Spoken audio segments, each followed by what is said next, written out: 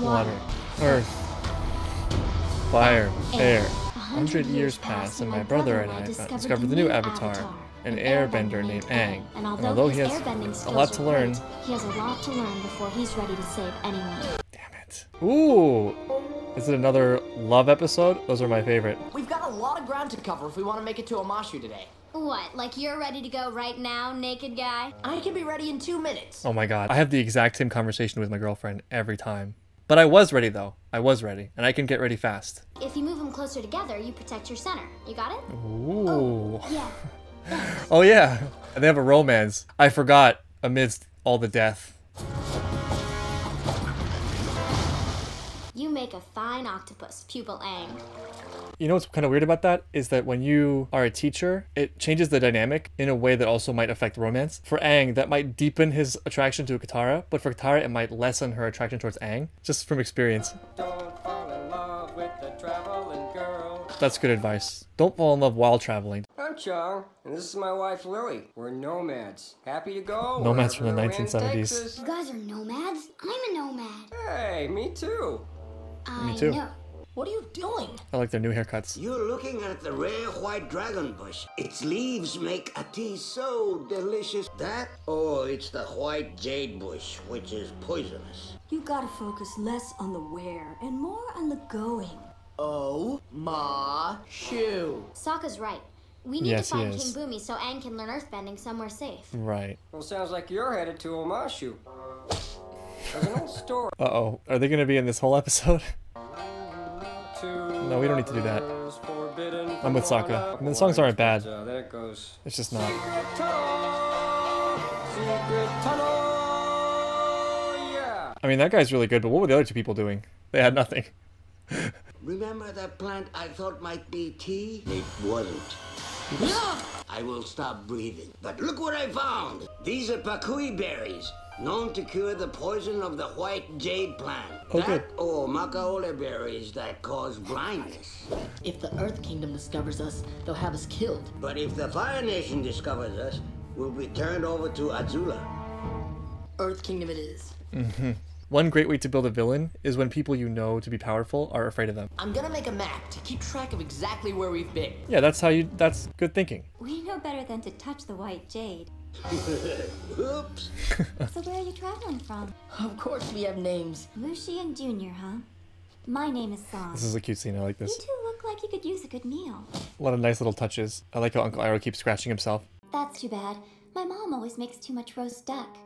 Where do you live exactly? He knows what's important. The Fire Nation raided our farming village. That was the last time I saw my father. Hmm. I haven't seen my father in many years. I'm much more interested in the Zuko side of the story than the Aang side of the story, just because this is some pretty serious char- character building for him in a way. Because not only is he living like a commoner, which is something new for him, he also is getting firsthand accounts of what his nation did to people, and he's getting it from somebody who is being really kind to him. That's a lot for him to think about. That's a really nice touch by the writers having him be on the run, because it forces him to live at that local level where he has to see the aftermath of the war.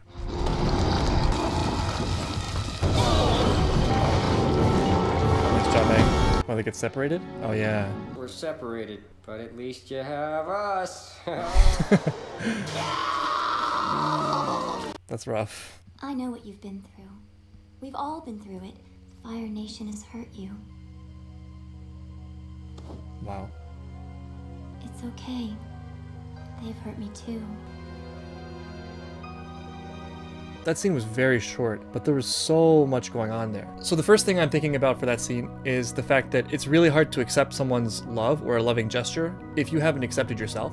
And that scar is a crazy thing for Zuko because it is a physical representation of something he really wants to forget. And the fact that she raises her hand to touch it brings it into super heightened focus in a way that you can't ignore it. But she's doing that as a loving gesture. So it's this really weird clash of feelings at the same time. She's giving him acceptance for something he can't accept. It seemed like on some level he recognized that as a nice gesture. If you have something that you're self-conscious about, you're worried people will bring it up, but it's also kind of scary if people don't bring it up because it want you wonder if they're thinking about it secretly. And so when someone does bring it up, but they do it nicely, in a way that's the best of all worlds because at least you know where you stand with it. Does that make sense? So it's it's a very visceral moment there. And what's great about it is he's bonding with someone who is on the opposite side as him, but who's the same as him. They both lost their fathers in a sense. They've both been burned, literally and metaphorically. Really, it's sometimes it's the littlest things that do the most.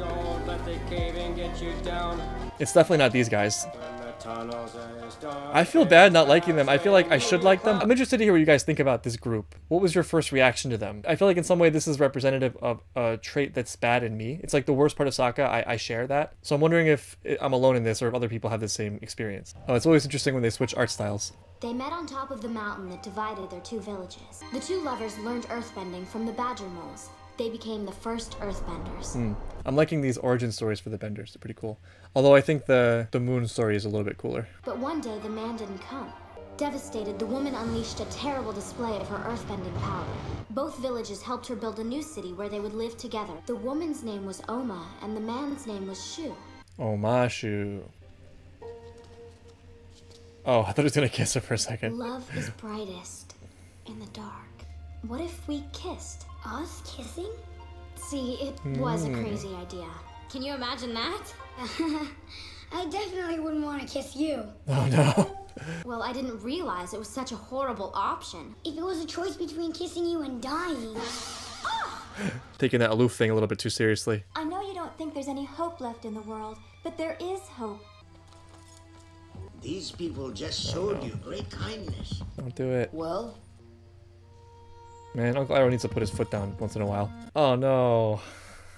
That's so disheartening. I think one of the most evil things you could possibly do is to mistreat people who are kind to you. Because what you're doing is basically punishing the few good people that are in the world that give unselfishly. It seems like one of the best ways to just make things worse. That was sad. Here we go. What is Zuko gonna think? Oh, it's the earthbending badger moles. The big bad badger moles who earthbend the tunnels, hate the wolf bats but love the sounds. I can't get over how like three of them are good at music and the other two just wave their arms in the air. so, um. So what does this go. mean for our relationship? That's ambiguous. Why is your forehead all red? Nobody react to what I'm about to tell you. I think that kid might be the Avatar. that was great. I hope you learned a little something about not letting the plans get in the way of the journey. Even if you're lost, you can't lose the love because it's in your heart. Uh, now I feel a little bit bad being so hard on them. Okay, wait, wait. I'm okay with those people, but I don't want to rely on them. I feel like I have to explain myself. I feel kind of bad. I feel guilty. I let some bad qualities come out. You can hang out with them. You don't want to need them for anything. You don't want to be stuck with them in a cave. That's probably what it is, okay? Uh, that justifies my negativity, all right? Let's just move on. I present to you the Earth Kingdom city of Om. Oh no. Oh no. Wow. Cliffhanger. I really enjoyed the Zuko segment. Even though it was short, I feel like there was a lot there. And also we advanced the romance plot a little bit. That kind of shot the first hole into my Zuko Katara theory. But it's not over yet. We got a lot of show left. Anything could happen. I'm going in to find Bumi. Yeah. And stop. There are other people who can teach you earthbending. This isn't about finding a teacher. Yeah. This is about finding my friend. I'm glad we had that introduction to Bumi earlier because it means more to us now. It's time to visit some old friends. Azula! It is so good to see you. Certainly our parents didn't send us to the Royal Fire Academy for girls to end up in places like this. It's interesting to see her in this light. Just the fact that she has friends totally changes the color of her character. And the fact that this girl seems really friendly also suggests there must be some good to Azula. I think maybe I'm just wishing for that, just because that's more interesting. And we kind of had that precedent because of Zuko. Although maybe the friend turns out to be a ruthless villain. Who knows? I wouldn't want you to give up the life you love just to please me. Of course, before I leave, I'm going to catch your show. so, is King Bumi with you guys? Before we even had a chance, King Bumi surrendered. I don't know anything about the situation, and I don't know what Bumi actually has in mind. But one thing I can say instinctually just from seeing this is I feel like people place too much faith in leaders to take action. It's something I see more and more. People look to a certain figurehead and either credit that person for all the good they see or discredit them for all the bad they see. It doesn't seem like there's much nuance in thinking about a leader's responsibility. In fact, sometimes the best thing a leader could do is do nothing, but we often get lost in the symbolic value of, of what a leader should be. We want them to solve everything for us all the time. But I think the problem with that is sometimes when you take action suddenly and impulsively without getting all the information first or without considering things carefully, you end up overlooking some key consequence, some unintended effect of whatever big move you make that affects everyone. Whereas it might have been better in certain situations to just let the problem take care of itself. It's very tricky. It's hard to know the difference. And I think that's one of the challenges of leadership. But I think it's a mistake in leadership to always have to take action, to always feel like you must do something as a leader, because I think often that ends up doing more harm than it than it prevents. On the other side of that, on the citizen side, I think it's a mistake to always look to leaders to solve every problem. I think that problems should always try to be solved first locally and independently. Either way, I'm confident that there's more to the situation than meets the eye. It doesn't matter now. Fighting the Fire Nation is the only path to freedom, and freedom is worth dying for. We can leave Omashu. They've taken our home, and we have to fight them at any cost. Mm. This is something that's really common. People think in binary terms. It's like either I get this or I get this. When the truth is, often there are many paths to get there, it's just that those paths require sacrifice. And I think some people miss that element. They think they're going to get exactly what they want without sacrificing. And that leads them into this very narrow choice that's almost impossible to win.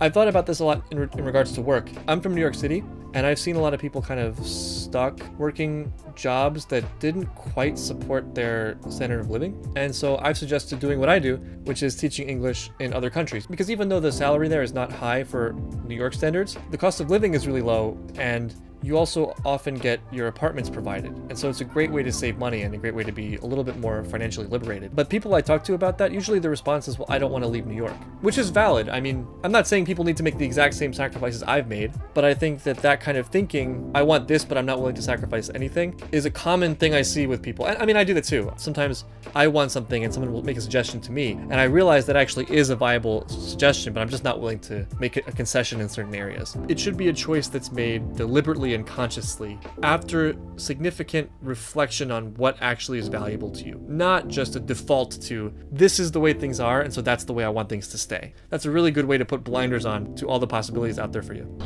Flopsy! Oh yeah, I remember. I remember Flopsy.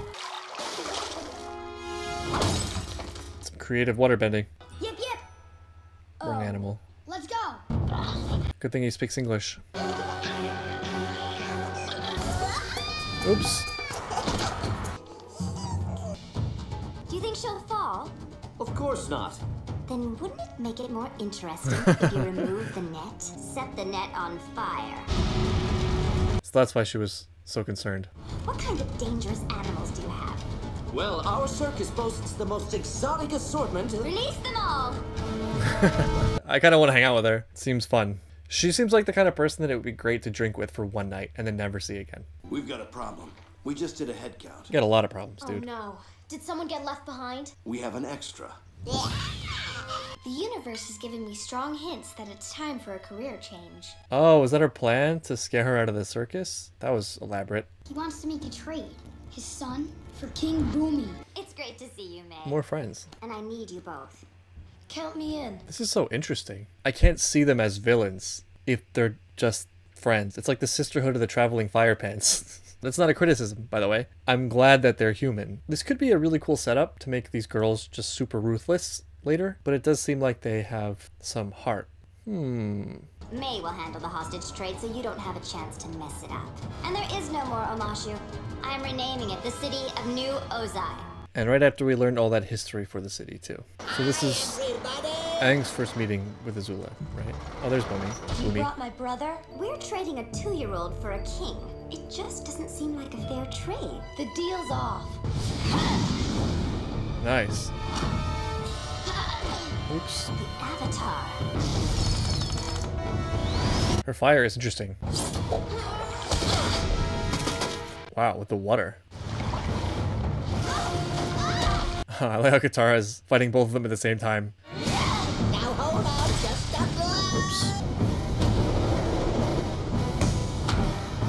It's a nice touch that they ended up on the slide again. They're getting a lot of mileage out of this thing, yeah.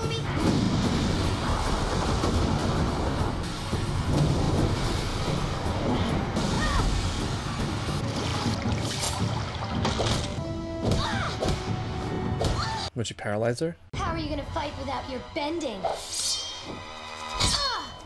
I seem to manage. Hey, he's doing something. That's good. Oh yeah, Appa, the most deadly of all. Thanks, Bumi. You could earthbend? They didn't cover my face. Why did you surrender when Omashu was invaded? There are options in fighting called Jing. There's positive Jing when you're attacking and negative Jing when you're retreating. And neutral Jing. When you do, nothing. It involves listening and waiting. I don't know anything about Jings, but yeah, that is an option. You don't always have to do something. It's true in terms of personal problems too, right? Like a lot of times you, when you encounter difficulty, people will say the time will take care of it. That's always annoying to hear, but it's also often right. New days bring new information, and a lot of times the new information completely changes the perspective on whatever the problem is. That's a nice lesson for Aang to learn too. I'm sure that'll come in useful for him at some point. Your teacher will be someone who has mastered neutral Jing. You need to find someone who waits and listens. So we're tracking down your brother and uncle, huh? It'll be interesting seeing Zuko again, won't it, Mai? Mm. It's not just Zuko and Iroh anymore. So are they suggesting that at one point the three of them were hunting Zuko? Hmm. My two favorite things about that episode were seeing Azula with friends. I can't see her the same anymore. And also I love the thing about Bumi waiting, the neutral Jing. I'm guessing the next episode will start in Omashu or New Ozai City. So I guess I'll see you then for episode 4.